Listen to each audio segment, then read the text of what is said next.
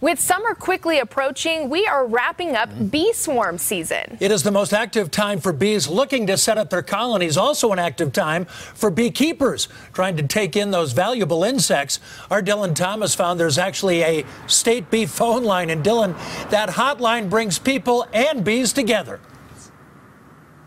Jim, that's because a swarm of 10,000 bees plus their queen is worth well over $150 for bee experts. So this morning, when a Denver woman was on her porch sipping on a cup of coffee and she saw a swarm, she was quick to call the hotline, and the hotline was quick to respond. In cartoons, it's what people run from.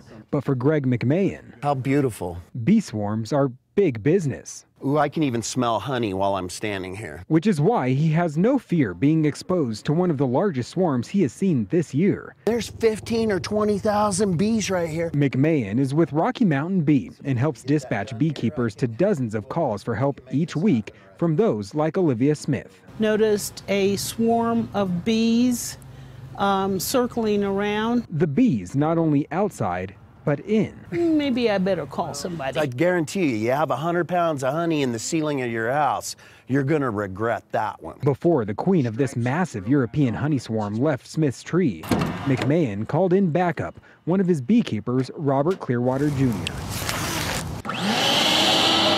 Using a shop vacuum, which then funnels bees into a hive box, Clearwater clears the trees of the swarm.